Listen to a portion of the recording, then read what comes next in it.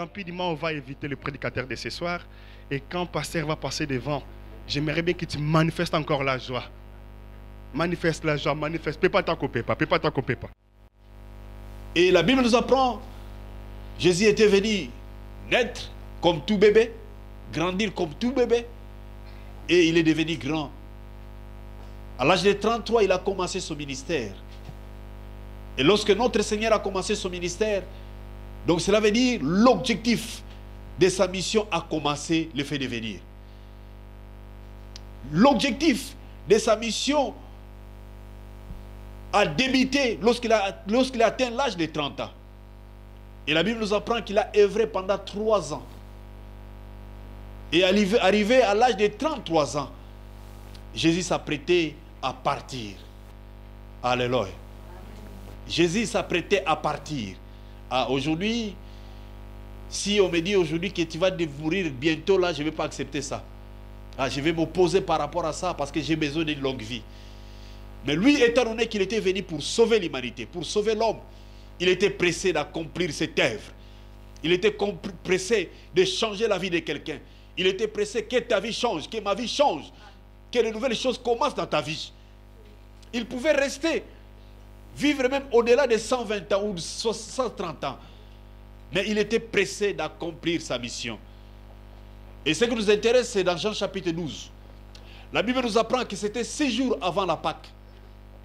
C'était six jours avant la Pâque. Et nous approchons aussi vers la Pâque, l'une des plus grandes fêtes chrétiennes. Et Jésus s'apprêtait pour cela. Et Jésus était à Bretagne. Et au moment où Jésus était à Bethanie, après avoir ressuscité Lazare, Jésus s'est rencontré avec une femme prostituée. Et lorsque Jésus s'est rencontré avec cette femme, cette femme a brisé un parfum dans les pieds de Jésus. Et c'était un polémique. Nous avons appris ça ici dans cette église. C'était un polémique. Comment cet homme qui dit qu'il est saint, il peut accepter même de prostituer. Peuple de Dieu, laisse-moi te dire, peuple de Dieu. Si nous sommes ici parce que nous sommes acceptés par Jésus-Christ, il n'a pas regardé ta personnalité pour que tu sois ici. Il n'a pas regardé ce que tu avais fait avant pour que tu sois ici. Mais lui, tout ce qu'il veut, tout ce qu'il attend de toi, qu'il soit à mesure, en acceptant Jésus-Christ, que votre vie change. Que ta vie change. Cela veut dire, lorsque nous parlons que ta vie change, cela veut dire de quitter la malédiction, d'entrer dans la bénédiction. Non seulement de quitter la malédiction pour entrer, dans la bénédiction, mais c'est aussi de recevoir la vie éternelle. Peuple de Dieu. Et j'ai parlé aussi avec quelqu'un en train de partager. On parlait à ce qui concerne les miracles. Je lui ai dit, des miracles n'est pas mauvais. Les miracles n'est pas mauvais. Parce que votre vie, dans votre vie, vous avez vécu un miracle aujourd'hui. L'une des plus grands miracles que vous avez vécu, Dieu vous a accordé encore le souffle de vie. Oh, il y a quelqu'un qui ne respire pas ici. Dieu t'a accordé encore le souffle de vie. C'est pour cela que la Bible dit que tous ceux qui respirent glorifient le nom de l'Éternel. Donc cela veut dire, si on ne respire plus, donc nous ne sommes plus autorisés à glorifier l'Éternel. Que Dieu te bénisse parce que tu es là, tu respires, tu es venu glorifier ton Dieu. Que Dieu t'élève parce que tu es là, tu es venu glorifier les saints des saints. Que Dieu t'élève parce que tu es là, tu as compris que le souffle que j'ai réussi, ça vient de quelque part. Donc je dois aller rendre compte à celui-là pour le l'adorer, pour le glorifier. Et la Bible apprend, lorsque cette femme a brisé cette parfum, ça a créé un peu de tension. Comment cet homme qui se dit saint peut être avec des pécheurs peut accepter une femme péchère de mauvaise réputation, de s'approcher jusqu'à lui. De s'approcher jusqu'à lui. Et Judas regardé avec une l'œil financière en disant ces parfums coûtent cher. Pourquoi ne pas vendre, prendre, vendre ce parfum? Et cet argent, nous allons donner ça aux pauvres. Et la Bible donne même le somme qui coûtait ce parfum. Et les sommes qui coûtaient ce parfum dépassent les sommes que Judas a reçues pour vendre Jésus. Alléluia. Alléluia. Les sommes qui coûtaient cette bouteille de parfum dépassaient même les sommes que Judas Carios a vendu Jésus.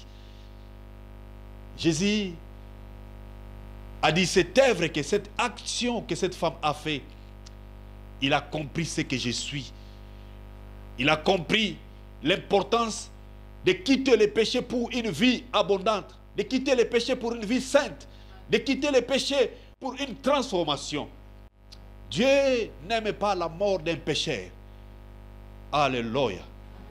Dieu n'aime pas la mort d'un pécheur.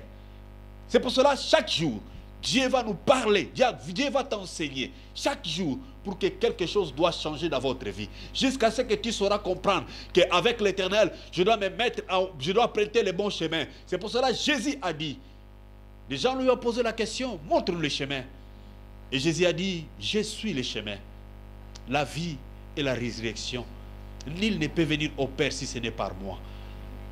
Alléluia. Dieu nous a dit, dans la Bible nous enseigne, il n'y a aucun seul nom dans le ciel et sur la terre. Il n'y a aucun autre nom si ce n'est le nom de Jésus-Christ. Cela veut dire, dans la bataille des destinées, c'est au nom de Jésus que ta vie doit changer. Dans tes difficultés, c'est au nom de Jésus que ta vie doit changer. Dans, dans, dans tes recherches de papiers, c'est au nom de Jésus que tu auras tes papiers. Et peuple de Dieu, laisse-moi te dire, tout ce que tu désires, au nom de Jésus, Dieu rendra cela possible. Vous savez pourquoi Dieu a mis le nom de Jésus? Pour enlever toutes sortes de confusions. Et ce n'est pas l'unique Jésus. Mais lui, il est Jésus le Christ. Christ veut dire celui qui vient de l'éternel. Mais je sais que le nom de Jésus est au-dessus des sorciers, et au-dessus des féticheurs, et au-dessus des Satan.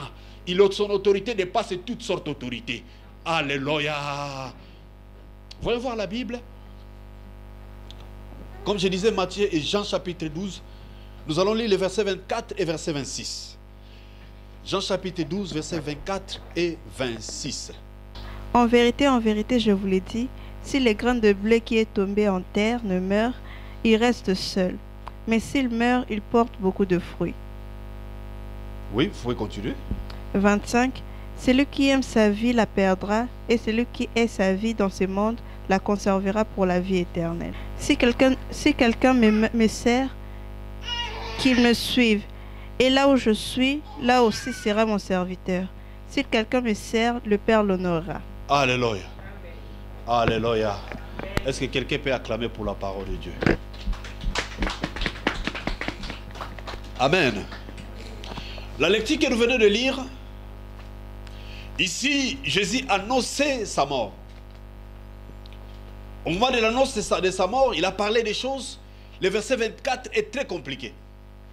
Et ce que j'aime en Jésus, c'est un homme qui ne parlait pas en vérité seulement, mais qui parlait deux fois en vérité. Il affirmait sa vérité. Dans le verset 24, il disait, si un sémence, un grain de bleu qui tombe par terre, s'il ne meurt pas, il restera ainsi. Mais si ce grain tombe par terre et meurt, apportera beaucoup de fruits. Alléluia. Et Jésus parlait ainsi, en disant que celui qui veut protéger sa vie, sauver sa vie, n'est pas haïr le monde. Il est loin de moi. Il ne peut pas sauver sa vie. Mais si quelqu'un ici-bas, dans cette corps, dans cette vie, il haït sa vie à cause de mon nom, il va retrouver la vie éternelle. Et Jésus disait encore, là où je suis, c'est là aussi sera mon serviteur. Là où je suis, c'est là aussi sera mon serviteur. Je ne parle pas des serviteurs de Kimbangu, mais je parle des serviteurs de Jésus-Christ. Et Jésus affirme en disant, là où je suis, c'est là aussi sera mon serviteur. Et mon Père va l'honorer. Alléluia. Dans cette lecture, il y a plusieurs points. Et il y a plusieurs réalités que Jésus nous a appris. Notre thème d'aujourd'hui s'intitule Là où je suis, là aussi sera mon serviteur où c'est là aussi sera mon serviteur. Là où je suis, c'est là aussi sera mon serviteur. Alléluia. Et vous allons voir, pour des gens qui aiment la conjugaison, Jésus est en train de parler au temps présent. Alléluia. Jésus est en train de parler au temps présent. Là où je suis, c'est là aussi sera mon serviteur. Serviteur de Dieu, peuple de Dieu. Avant de devenir serviteur, nous devons revenir maintenant en arrière. Il parlait d'un sémence. Lorsque cette sémence est posée par terre, si cette sémence ne meurt pas, cette sémence restera ainsi par terre sans, sans pourtant produire quelque chose. Mais si vous semez quelque chose, il doit passer un processus. Ce processus fait en sorte que ces semences-là doivent mourir. Et après la mort, ça se fait, c'est comme si vous, je ne sais pas, quelqu'un me suit. Ça se passe qu'aux semences. Parce qu'un homme, si vous enterrez l'homme aujourd'hui, il est parti. Il ne vit plus. J'aimerais qu'on puisse comprendre ces lectures. Parce que si on ne comprend pas ces lectures, ça va être difficile à comprendre. Si vous prenez un homme, vous l'enterrez, c'est fini. Mais ici, Jésus est en train de parler d'un sémence, d'un processus qui se passe dans une sémence. Quand vous prenez un sémence, si vous mettez ça à terre, si ces sémences-là ne meurent pas, il ne peut pas reproduire. Pour que ces semences commencent à produire, ces semences-là doivent d'abord mourir. Et après la mort, les semences commencent à donner encore une autre vie. Et lorsque cette vie va commencer, si vous avez semé un grain d'haricot, vous allez récolter plus d'haricots. Alléluia soko olonaki mokokoli ya manga moko ozozela nzete wana manga et non seulement ça lorsque tu sèmes comme ça sache qu'il y aura plusieurs récoltes Jésus dit que si une semence est semée, s'il ne meurt pas, il restera ainsi. Mais lorsque cette semence est semée, il reste à terre. Cela veut dire, après la mort, il y aura la vie. Et cet arbre portera encore plus de fruits. Et non seulement ça, Jésus a continué en disant que celui qui veut s'attacher à cette monde, protéger sa vie, la perdra. Et Jésus a continué. Mais celui qui va accepter de livrer sa vie, de dire ma vie ne vaut rien à cause de Jésus, ma vie ne vaut rien parce que Jésus doit vivre à moi, Jésus doit demeurer en moi, cette personne va retrouver cette vie et aura la vie éternelle. Et Jésus a continué à préciser en disant, là où sera mon serviteur, là où je serai, mon serviteur aussi sera avec moi. Et mon Dieu, mon Père, va l'honorer. Alléluia, peuple de Dieu. Dans cette lecture, il y a plusieurs mystères. Le premier mystère, il nous parle de la sémence. Hors de cette sémence qu'il est en train de parler, il est en train directement de parler de sa mort. Que le Fils de l'homme devait mourir, entrer en terre, accepter de mourir, cette mort-là. Et après cette mort-là, après cette mort-là, il y aura encore une autre vie qui va jaillir.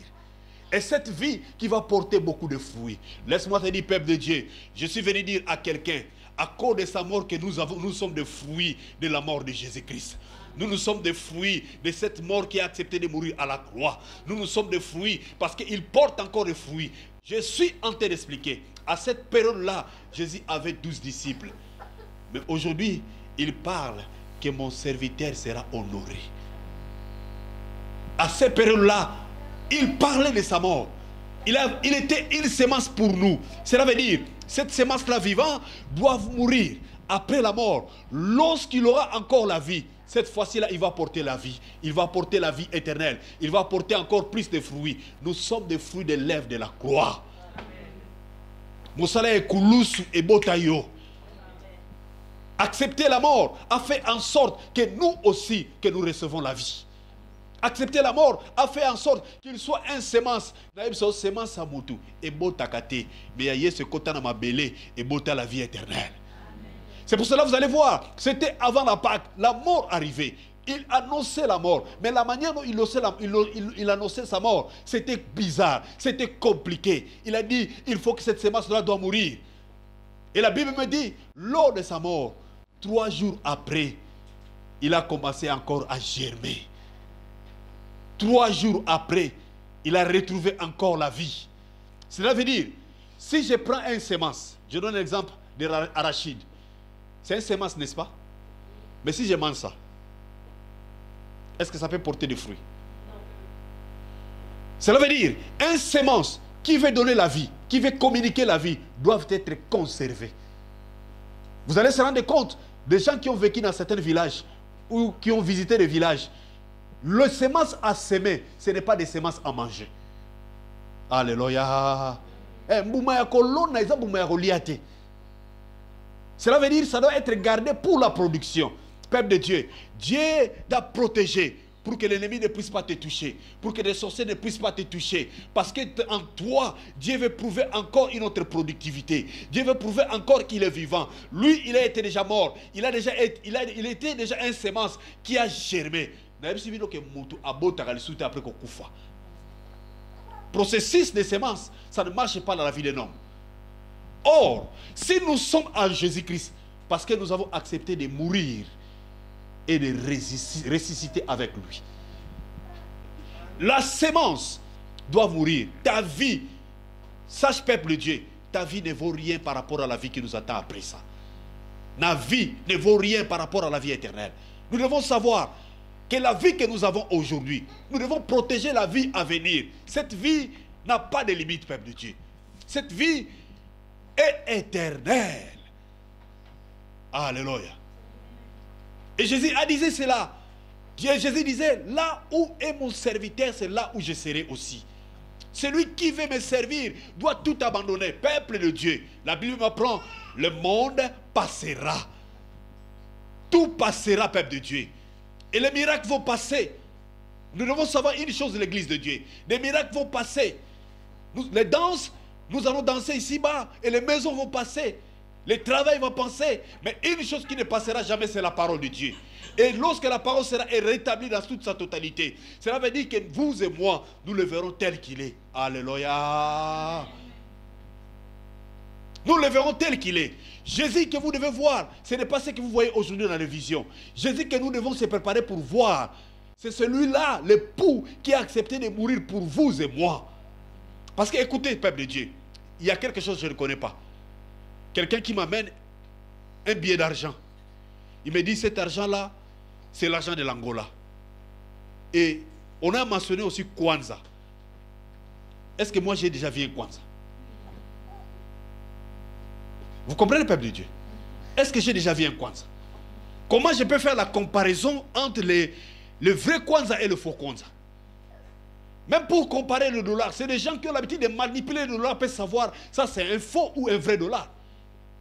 Quelque chose que vous ne maîtrisez pas. Même si on te montre un faux, tu ne sauras pas identifier. Tu ne sauras pas savoir. C'est pour cela que Jésus nous parle lui-même en disant, c'est là où sera mon serviteur, là où je serai, là aussi sera mon serviteur. Peuple de Dieu, il n'y a rien de merveilleux que de servir ton Jésus-Christ. Il n'y a rien qui est merveilleux d'adorer que Jésus-Christ. Peuple de Dieu, n'adore pas un pasteur, n'adore pas un homme de Dieu, ne se courbe pas. Aujourd'hui, ça me fait trembler parce que des hommes de Dieu se font faire de ce qu'on appelle des cultes de personnalité. Vous savez qu'est-ce que le culte de personnalité? Vous savez ça? Pas encore. Je vais vous expliquer. Cela veut dire, dans cette église, vous prenez Jean-Félix, votre pasteur, vous le mettez à la place de Dieu. Vous allez se rendre compte, quand on fait nos vidéos, on met nos vidéos, je préfère mettre des titres des enseignements qu'on partage que de mettre le nom d'une personne. Le culte de la personnalité commence comment? Vous allez voir un jour, vous allez porter des polos en disant que Jean-Félix a un Zambé.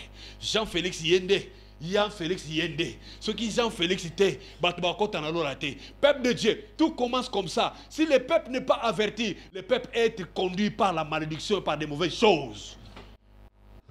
Et vous allez voir, lorsque nous regardons certaines églises, je ne vais pas citer de noms, vous allez voir, on nous dit vraiment Papa Zalin Zambé, Papa Zalin Zambé. Et les gens sont sans gêne. C'est ça la culte de la personnalité. Là, Jésus est en train de parler. Je vais te poser une question. Est-ce que leur sémence humaine, lors de la mort, est-ce que ça a germé encore? Alléluia.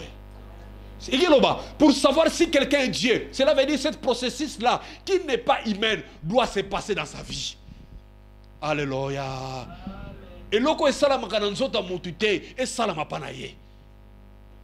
Il y a même des gens qu'on nous a dit, oh lui va monter au ciel. Il commence à monter jusque là. Dieu n'aime pas des. Dieu, lui a frappé, il tombe par terre. Parce que ce n'est pas ce que nous cherchons. On ne se garde pas à Dieu. On ne s'identifie pas à Dieu. Dieu ne veut pas qu'on touche la gloire de l'éternel. La gloire doit être protégée. Nous sommes des semences. Nous, nous sommes des fruits de cette semence-là qui était morte, semée par terre, a donné la vie. D'autres semences ont touché la terre. Ils n'ont pas accepté de revenir encore vie parce que c'était impossible pour eux. Alléluia. bazalaki na mpe bakona lokola yesu mais bakona bango il y a même des gens qui disent on va garder papa tel qu'il est. On va appeler des spécialistes qui savent embaumer. To garder corps wana peuple de dieu il y a des corps comme ça. Des gens qui n'ont même pas pourri qu'on a enterré depuis des années. Mais laisse-moi te dire tu vas devenir un momie mais notre Jésus est au ciel. La Bible dit il est assis à la droite du Père. Là où je suis, c'est là où sera mon serviteur. Peuple de Dieu, Jésus est où maintenant? À Jérusalem. En Kamba, Jérusalem. Hein? La Bible dit il est parti au ciel. Et tout le monde l'a vu, même les disciples l'ont vu. Partir au ciel. Il a dit, notre thème, là où je suis, c'est là où sera mon serviteur. Peuple de Dieu, lorsque Dieu est en train de parler au temps présent, sache que c'est une vérité forte. Lorsque Dieu est en train de parler au temps présent, sache que ce sont des réalités qui peuvent exister nulle part. Jésus n'a pas parlé une seule vérité, mais Jésus a parlé double vérité. Il parlait d'un corps comme une semence. Lorsque ce corps-là sera sémé, ça va germer encore. Voici des chrétiens sont nés. Voici des gens, des hommes de foi sont nés. Des femmes de foi sont nés. Parce que ce sont des fruits de cet corps-là qui est entré à terre et donné encore la vie. Redonner la vie à ta, personne. Donner la vie à ta famille. Et accepter que Jésus-Christ de Nazareth. Alléluia. Quitte la personnalité, cela veut dire quoi? Je vis même cela. Mon rôle, Alléluia. Mon rôle est d'avertir l'église de Dieu. Alléluia. Aujourd'hui, parce que moi, je fouille les choses. Je regarde les choses, je fouille. Je vois des hommes de Dieu en train de chasser des esprits sans même utiliser le nom de Jésus. Ils n'ont plus besoin de ça. Oh, la Bible me dit, tout genou doit fléchir et toute langue confessera que Jésus-Christ est Seigneur. Et les gens sont impressionnés. Il y a un seul nom qui peut m'impressionner. C'est celui qui est mort. Le troisième jour est ressuscité. Aucun autre nom nous a été donné au ciel. Il dit là où je suis, là où sera. Nous servons Dieu, peuple de Dieu, pour aller au ciel. Nous ne servons pas Dieu pour avoir des véhicules seulement. Oui, nous allons avoir des véhicules, nous serons bénis. Comme vous êtes beau et belle ici, c'est une bonne chose. Mais nous devons savoir, notre plus grande récompense, là où il est, c'est là où aussi toi tu dois être. Et la Bible me dit, quelle est l'importance d'avoir tout ici-bas et de ne, pas, de aller au ciel? Et j'ai partagé avec les gens en disant, Écoutez, à ce qui concerne les miracles, je peux manquer un morceau de marche demain. Quelqu'un prie pour moi, ça pousse. Oh, gloire à Dieu, j'ai une main. Mais si je marche pas selon sa volonté, je vais aller en enfer. Je vais le dire. Ce sont des actions qui se font par la chair. Mais lui, il est venu sauver d'abord l'âme de l'âme du l'âme humain. La condamnation qui était dans l'homme, enlever cela. Parce que la plus grande condamnation que l'homme a subie, c'était la mort. Parmi des condamnations, des souffrances, ça peut passer. Regardez, peuple de Dieu, je peux avoir faim parce qu'on me dit que je vais manger avec ma souffrance. Personne ne va pleurer pour moi. Mais le jour de la mort, et vous allez se rendre compte, lorsque Lazare est mort, lorsqu'il arrive auprès de tombe de Lazare, la Bible dit Jésus plaira. La mort est très mauvaise. La mort n'est pas bien. Mais Jésus parle de cette mort en disant cette sémence doit entrer par terre, mourir pour avoir encore la vie. Alléluia. Et laisse-moi te dire, la Bible nous a parlé, la Bible nous, Jésus nous parlait aussi, il parlait de nous aussi comme des arbres. En disant que vous êtes des arbres, vous, êtes, je suis le cep, vous êtes des sarments. Et il disait, si un arbre ne porte pas de fruits, sera coupé et jeté au feu. Peuple de Dieu, quel est le fait qu'il parle? Il parle d'un fait éternel. Laisse-moi te dire, quelqu'un ne comprend pas. Je parle d'un Dieu qui maîtrise le fait. Je parle d'un Dieu qui maîtrise l'eau. Je parle d'un Dieu qui crée toutes choses. Je parle d'un Dieu qui appelle en existence ce qui n'existe pas. Je parle d'un Dieu qui peut dire dans la, ici-bas, lorsqu'il le faisait noir, en disant que la lumière soit et la lumière fit. Cela veut dire, si la, le ténèbre domine ta vie, ta vie, si les ténèbres dominent la vie d'une personne, il peut dire un seul mot et ta vie doit changer. Peuple de Dieu, il peut dire un seul mot. Quand je parle de Jésus, lisez Jean chapitre 1er, verset 1er. Vous allez voir qui est Jésus-Christ de Nazareth. Qui est cet homme qui est en train de parler, qui devait être sacrifié. Jean chapitre 1er, verset 1er. Jean chapitre 1, verset 1. Au commencement était la parole, la parole était avec Dieu et la parole était Dieu. Alléluia. Ici, la Bible dit au commencement était la parole. La parole était avec Dieu. La parole est de Dieu. Et si vous continuez cette lecture, vous allez voir, rien de ce qui a été créé n'a été créé sans elle. Et en elle, il y avait la vie. Peuple de Dieu, l'importance que tu prennes la vie. Je dis à quelqu'un que ta vie soit affectée par la vie éternelle. Oh, abandonne, abandonne tout ce qui t'attire ici-bas. La Bible dit, Jésus a dit, celui qui voudra sauver sa vie, son corps, il la perdra. Mais celui qui va accepter de livrer sa vie, pour moi, il aura la vie éternelle. Peuple de Dieu, quelle est cette église qui peut parler des miracles sans pourtant parler de la vie éternelle il y a même un pasteur qui disait, j'attendais un pasteur dire, on disait, je ne vais pas parler de l'eau là, je ne vais pas parler de la sanctification. Qu'est-ce que ça va foutre ici? Moi, je suis venu pour que tu sois millionnaire. Tu vas être millionnaire et aller en enfer. La Bible me prend, il y avait Lazare et homme riche. Et l'homme riche plairait, vrai tour, comme tu seras quand tu seras de retour. Avertis mes frères qui sont restés avec cet héritage. Parce que cet héritage m'amène ici, là où rien n'est bon. Dieu nous a aimés. Et l'amour de Dieu veut que quiconque croit à lui ne périsse pas, mais qu'il ait la vie éternelle. Parce qu'il nous a dit, nanga ya solo.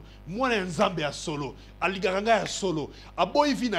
Peuple de Dieu, que ta jeunesse ne te trompe pas. La Bible me dit, jeune, réjouis-toi de ta jeunesse, mais sache que le jour du jugement, tu rendras compte, peuple de Dieu. Oh non, nous, nous sommes encore jeunes. Je suis encore belle. Peuple de Dieu, la beauté n'est qu'une lambeau de peau. Je disais à quelqu'un qui était à l'hôpital, je dis, comme tu es à l'hôpital, regarde bien les gens. Regarde bien le corps. Ne regarde pas des gens parce que tu ne connais pas ces gens-là. Mais regarde comment le corps, notre corps finisse. Regarde bien notre corps. Vous savez, quand on est là, on se lave. Tu mets des parfums, tu mets tout est bon. Tu te regardes, tu fais un, trois selfies. Tu regardes bien, tu dis voilà moi. Tu ajoutes encore quatre selfies. Tu dis c'est moi là. Tu ajoutes encore cinq selfies. Quand tu mets sur Facebook, tout le monde te dit ma soeur tu es belle. Mon frère tu es beau. La beauté est sur toi. Oh, t'adore. Mais je regarde ces choses-là. Quand je vis, je regarde tout le monde t'apprécie. Personne ne peut dire de mal lorsqu'il voit ta photo. Et laisse-moi te dire, quand tu regardes des photos de Facebook, toi-même tu commences à sélectionner. Qu'est-ce que je vais envoyer qui va appâter des gens? Ah ça yo kolega facebook te yo okosuka kaka na portable awa yo kolega facebook eh, zela na ntango na kosala surtout vous comprenez ce que je dis? Quand vous faites ce que tu fais là obi maquillage yo bokotelango obi mm, ezwa bango peuple de dieu là où je suis c'est là où sera mon serviteur mon maître est au ciel nzambe oyo abengi yo awa aza lola Et, cantique, et la Bible nous apprend la cantique cantique, la cantique de Ecclésias, pardon. Tout m'est permis, mais tout n'est pas utile. Ce n'est pas interdiction. Je ne veux pas vous dire que l'église de Dieu, écoutez, n'est plus Facebook. Et ça me dépasse même ici à l'église. Quand on met des vidéos sur Internet, il y a même des gens de l'église qui ne sont pas l'ami des pasteurs qui ne connaît même pas qu'il y a une page Facebook de l'église. Peuple de Dieu, il est venu pour sauver. J'ai bien parlé de Jean 3,16. Dieu a tant aimé le monde qu'il a donné son Fils unique, afin que quiconque croit en lui ne périsse pas, mais qu'il ait la vie éternelle. Combien de fois tu partages la vie éternelle? Tu trouves ton plaisir dans le Facebook. Mais la Bible ne me dit pas ça. Et l'homme qui trouve son plaisir dans la loi de l'éternel. Hey, ça me dépasse. Même, nous, même moi, pasteur, si je mets une prédication, zéro like. Si je prends c'est pour cela que ça m'énerve même de mettre des photos. Ça me met en colère. Si je mets une photo comme ça, ah, pasteur, Motei, Mosalan Zambe, Zamba Pambolayo. Il y a un logiciel pro qu'on utilise pour faire des lives. Ça coûte très cher. J'ai dit très cher. Quand on fait, des, on fait des lives, tu vas voir quelqu'un qui ne regarde pas. Laisse-moi te dire ce que vous faites. Tu n'as même pas regardé les vidéos, tu fais j'aime.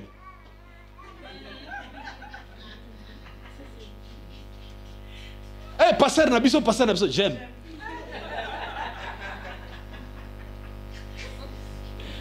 La contenu ne vous intéresse plus.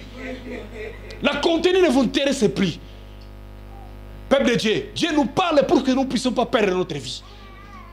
Si tu crois aujourd'hui ta vie est le plus précieux, je te dirais la vie éternelle est plus précieuse que jamais. Lorsqu'on parle de l'éternel, j'ai commencé par l'éternel. Lorsqu'on parle de l'éternel, c'est une vie qui n'a ni début ni fin. Pourquoi on est influencé par la vie qui va s'arrêter demain? Pourquoi? Il y a même beaucoup de gens, il y a même d'autres quand ils regardent, c'est pour notre passé. Ah, j'avais déjà entendu ça. Tu ne sais pas qu'à travers une parole, tu peux sauver l'autre personne. Hein? Lorsqu'une semence est semée, c'est une seule haricot. Mais lorsque ça va sortir, il peut y avoir des sacs. Parce que notre Dieu, c'est un Dieu de l'abondance. Notre Dieu, c'est un Dieu de l'abondance. Il peut y avoir des sacs. Un sac d'haricots, une personne peut manger ça seule. Il doit partager ou vendre pour gagner ou pour multiplier. Alléluia. Alléluia. Notre force, nous devons comprendre ces choses-là. Jésus nous promet, là où je suis, c'est là où, nous serons. Je viens de vous expliquer. Il est l'unique corps humain qui est entré en terre et retrouvé encore la vie sans l'aide des personnes. Alléluia. Nous devons comprendre cela. Parce que je parle de ces choses-là. Parce que même Lazare que Dieu a résisté, parce que c'était six jours avant la Pâque, dans Jean chapitre 12. Jésus, Dieu, Jésus a résisté Lazare des morts. Vous savez, après des années, après des temps, Lazare a retrouvé encore la, la mort. Alléluia. Lazare a retrouvé encore la mort. Nous devons savoir que si nous voulons avancer, je dois servir mon Dieu pour que mon Dieu puisse me glorifier. Je vous ai dit une fois ici, il y a des gens, quand ils prennent une fleur, qu'on a fait l'animation des jolis, des jolis, le fleur, il peut partager. Mais lorsque seulement une parole de Dieu qui peut sauver quelqu'un, qui a déjà fait l'expérience? Poser une photo, dis seulement à tes amis, parce que ce sont tes amis de Facebook. Moi-même, je ne crois pas à ces amis-là.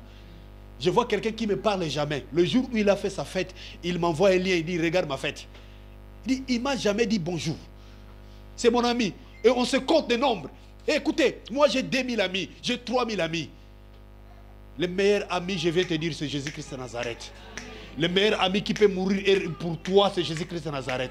Ces amis-là qui te parlent là, tu peux mourir aujourd'hui. Ton compte sera là. Ils vont continuer à liker, mais toi tu es déjà parti. Les portes d'enfer peuvent s'ouvrir devant toi. Tous ils vont continuer à liker. Comprenez, les sept amis, les meilleurs amis, c'est Jésus. Je vais vous expliquer quelque chose. Faites une expérience. Je vous donne tous, un défi. Faites un message. Écrivez seulement, je suis en difficulté, j'ai besoin d'aide de mes amis de Facebook. On va vous consoler par des messages, on va vous faire des likes. Personne ne peut répondre à ton problème si je serai Jésus. C'est que j'aime en Jésus-Christ. Il a donné la vie pour nous. Il peut nous répondre tant physiquement et spirituellement. egelo que oh miso mokili ezomona te yesu akorépondre yo. Oyo motema ya moto ekoyeba te me yesu moto azorépondre yo. Même na secret des problèmes qui te dérangent chaque jour. C'est que tu ne peux pas expliquer à quelqu'un mais lui il voit tu peux avoir un mari, ne peut pas te comprendre comme Jésus-Christ.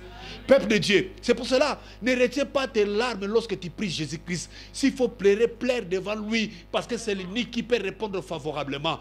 Quelqu'un qui peut te dire je t'aime aujourd'hui, un jour Tu fais, il te répond tous les jours. Mais un jour, tu envoies un message, il dit je suis occupé. Oh, je suis absent, je suis au boulot. Mais cet mari-là, cet homme-là, il est toujours présent pour nous. Il agit toujours. Il répond toujours favorablement. Il dit que je ne vous laisserai pas orphelin. Il faut que je m'en aille. Lorsque j'irai, le Saint-Esprit viendra. Il sera avec vous. Il va demeurer avec vous jusqu'à ce que je vais retourner. Il te laisse passer. Mais un mari peut dire, écoutez, je suis avec mes amis. Je traite mes affaires. Toi, on verra. Quand est-ce que je vais m'occuper de toi Peuple de Dieu.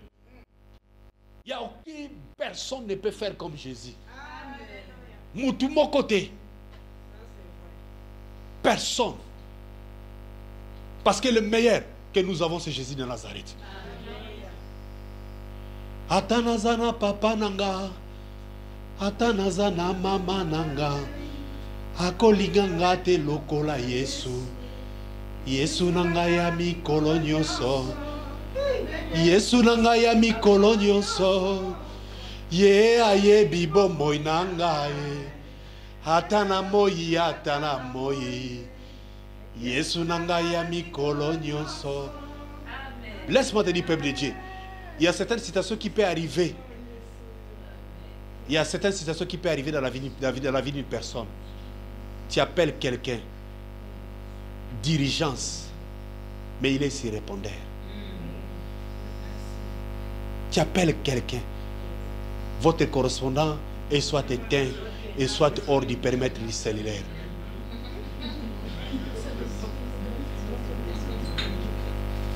En France, les réseaux ne ratent pas.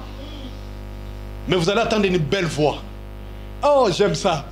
Là, tout le monde parle bien à ses répondeurs. Tout le monde parle bien à son répondeur. Il dit ici, c'est le répondeur. Ah, tout le monde parle bien. Je ne suis pas disponible, je vais te rappeler. Je dis tout le monde parle bien dans son répondeur. Alléluia. Mais Jérémie 33, 3 dit, invoque-moi, je te répondrai. Invoque-moi je te répondrai. Je te montrerai même des choses cachées que tu n'as jamais vues. J'ai dit, peuple de Dieu, là où je suis, là aussi sera mon serviteur. Yesu nanga zalaka na na koza na pasité. Yesu nanga zalaka malade te malade tikangai. Mon Jésus n'échoue jamais, je ne jouerai jamais. Mon Jésus, c'est un Dieu de victoire, je suis dans la victoire. Oh, même dans un fosse au lion, il sera le lion de la tribu de Jida même dans un fourneau Adam, il va être avec moi. Oh, il sera le troisième personne dans un fourneau. Alléluia. Alléluia. Invoque-moi, peuple de Dieu. N'abandonne jamais Jésus-Christ. Servez Dieu, n'oublie ton corps. Oublie ta personne. Donnez cette corps-là à Dieu. Dieu va t'honorer tu ne seras pas humilié parce que tu m'aimes. Vous savez, il y a certains échecs qui peuvent arriver dans la vie de quelqu'un. Ça arrive jusqu'à la porte. Ça arrive à côté de toi. Mais tant donné que tu es serviteur de Jésus, l'ange de l'éternel vient à côté pour dire ça, ça ne va pas passer. Parce que le maître n'a pas autorisé. Parce que lui, c'est son serviteur. Étant donné qu'il est son serviteur, je ne défends pas son honneur, mais je défends l'honneur de celui qui est mort à la croix. Je défends de cette semence-là qui a été sémée, qui a pris vie, qui ne changera jamais. Alléluia. C'est ça, c'est là où viendra notre assurance. C'est par là sortira notre force. Ne soyez pas intimidés. Ne soyez pas intimidés parce que tu as le plus que tout. je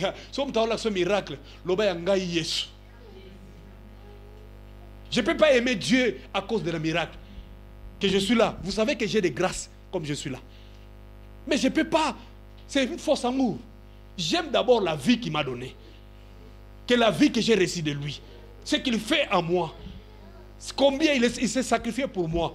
Même mon père ne peut pas faire ça. Faites une expérience. Vous qui connaissez l'histoire de Takinga? Peuple de Dieu. Il y a un seul naître qui ne peut pas t'abandonner, c'est Jésus de Nazareth. Il peut te dire, je t'aime. Tu vois, sans toi, je ne vis plus. Sans toi, yonde motema nangai. Yonde masisa. Le. Je parle de la mort.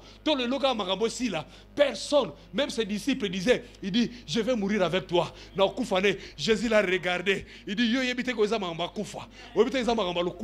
Pierre, non, écoutez maître, moi je vais mourir avec toi. Pierre, tu comprends pas. Cette nuit même, avant que la, jour, la, journée, vienne, tu vas me régner trois fois. Il s'est donné même jusqu'à la mort. C'est pour ça que la Bible dit qu'il était obéissant jusqu'à la mort à la croix. Qui peut obéir à la mort? Et Alléluia. Eh, bilamba mwindo mikolo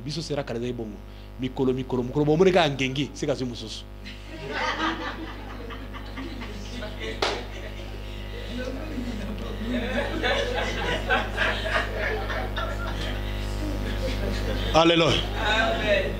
Et Pierre commençait, quand on commençait à dire, Pierre commençait à voir comment c'était sérieux. Il disait, toi aussi tu étais avec lui. Hein. Pierre a dit, eh?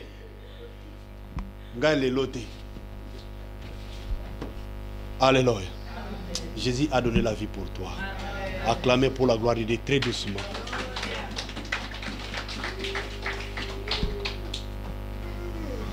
Que Dieu bénisse la parole de Dieu.